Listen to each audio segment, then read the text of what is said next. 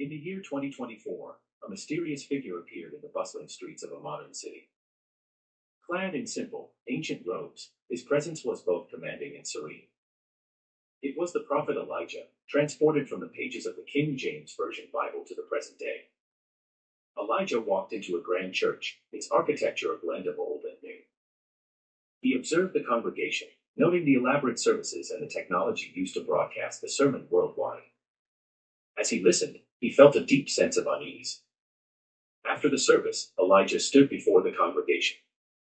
His voice, though gentle, carried the weight of divine authority. People of this age, he began, you have built magnificent structures and filled them with the latest innovations.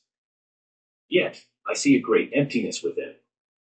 He pointed to the ornate decorations and the screens displaying the preacher's image. Your focus has shifted from the simplicity of faith to the grandeur of appearances. You seek to entertain rather than to enlighten, to comfort rather than to challenge. Elijah's eyes scanned the crowd, seeing the wealth and comfort that many enjoy. You have become complacent, forgetting the call to serve the poor, the needy, and the oppressed. Your abundance has made you blind to the suffering around you. He spoke of the prophet's call to justice and righteousness, reminding them of the words from Isaiah and Amos. The Lord desires mercy, not sacrifice. He calls for justice to roll down like waters and righteousness like a mighty stream. Elijah's words struck a chord with many. Some felt convicted, realizing their faith had become more about convenience than conviction.